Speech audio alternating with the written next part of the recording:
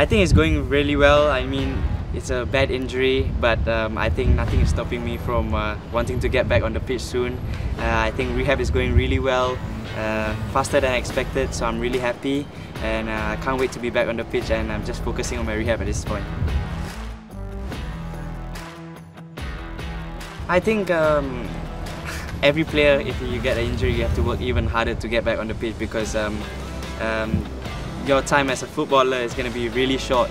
The lifespan of football is uh, really short and I think I have to be back on the pitch soon and it's something I love to do and if I don't work hard to be on the pitch I'll never get back to my best and I think um, this is just down to me whether I want to work hard or not so that's why I think I have to put in the work. This is an easy question for me because I think uh, first of all it was their interest uh, that uh, Mr. Ono, the boss, really wants me there and uh, I couldn't think twice. Uh, I think it's an easy decision for me that a club in Europe wants me and the ambition they have for me and the goals they want for me.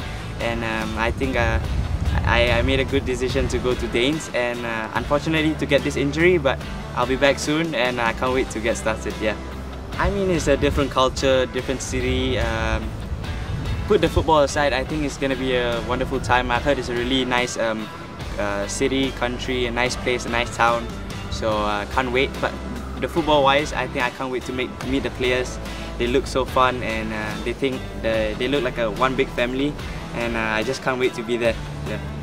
Oh, I just want to show my ability, nothing, you know, whatever I've been doing and try and do it even better, improve. I'm still young, I want to improve and learn from all these experienced players who play in Europe. I want to get stronger and just improve my game and then one day when I come back to Singapore, uh, play for the national team, I can uh, give whatever I've learned and hopefully help the national team to get bigger trophies and win some things. And yeah, just for me, is I want to try and showcase myself, try and uh, excite the, the fans and do what I can do. So yeah.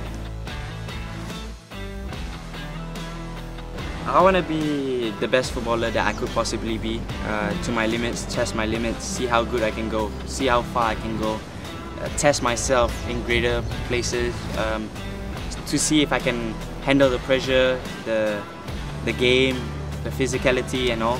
And uh, lastly, I just want to be a best version of myself and to try and improve as much and try and play at the top level for quite some time and to obviously help the national team. Yeah.